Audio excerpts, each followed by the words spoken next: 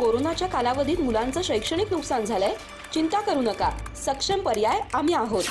शेकडो राष्ट्रीय आंतरराष्ट्रीय खेळाडू घडवत दहावीच्या शंभर टक्के निकालाची परंपरा जपणारी आणि एकाच दिवशी दोन विश्वविक्रम करणारी भारतातील एकमेव निवासी शाळा चैतन्य पब्लिक स्कूल आणि junior college Abdullah.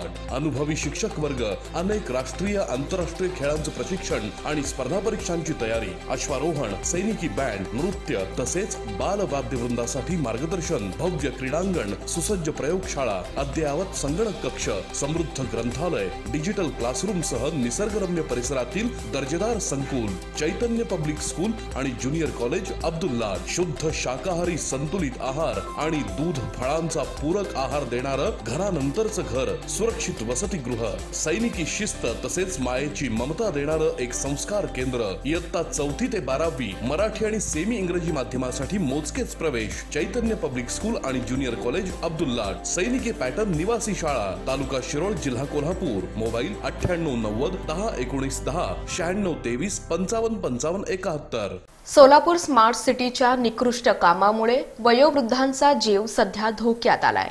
Solapur smart city अंतर्गत अनेक कामं सोलापुरात झाली असून त्यातून काही कामं निकृष्ट दर्जाची झाली आहेत. स्मार्ट सिटीच्या निकृष्ट कामांमुळं आणि नगरसेवकांच्या दुर्लक्षामुळं सर्वसामान्यांना मात्र भोग भोगावे लागत आहेत. असाच काहीसा प्रकार कोनापुरे चाळ इथं घडलेला आहे. कोनापुरे चाळीतील वयोवृद्ध रहिवासी मच्छिंद्र राऊत यांचा ड्रेनेजमध्ये पाय अडकून अपघात झाला असून त्यांच्या डोक्यावर एकूण अठरा टाके पडले आहेत. तीन दिवस झालं. कसं लागलं? पडलं. कुठं? रेल्वेला चर्च काढून. बर ड्रेनेजला ठसकावून पडले का? हा. किती टाक्या पडलेत? अठरा.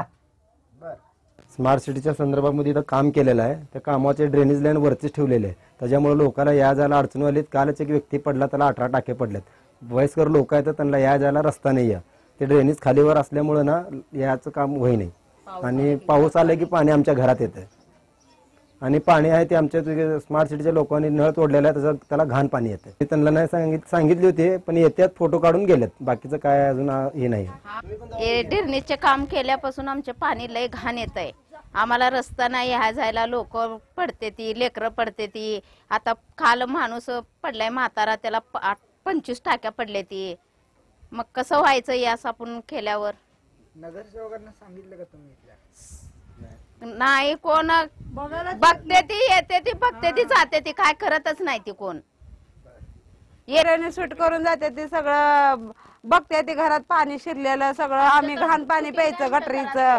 तिथं पैपाला पैपामध्ये पाण्याच्या पैपामध्ये गाळ जाते तसलं आम्ही डरणीचं पाणी पिता आम्हाला पाणी नाहीये.